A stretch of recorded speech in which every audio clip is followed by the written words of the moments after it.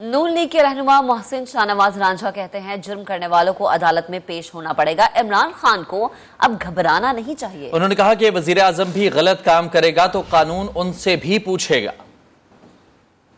तो वो और पाकिस्तान के निज़ाम को हर इंसान जवाबदेह है।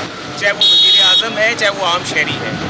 अगर कोई भी वज़ीर आज़म जुर्म करता है चोरी करता है कानून की खिलाफ वर्जी करता है तो उसको अदालत में पेश होना पड़ेगा ये माजी की रवायत है। तो इसमें कोई घबराने की बात नहीं है। अगर खान साहब ने जुर्म नहीं किया होगा तो वो बाइज्जत बरी हो सकते हैं। और अगर जुर्म किया होगा तो उनको कानून के कटहरे में खड़ा होकर अपने जुराइम का जवाब देना होगा। तो वो और पाकिस्तान के निज़ाम को हर इंसान जवाबदेह है। चाहे वो वज़ीर आज़म है चाहे वो आम शहरी है।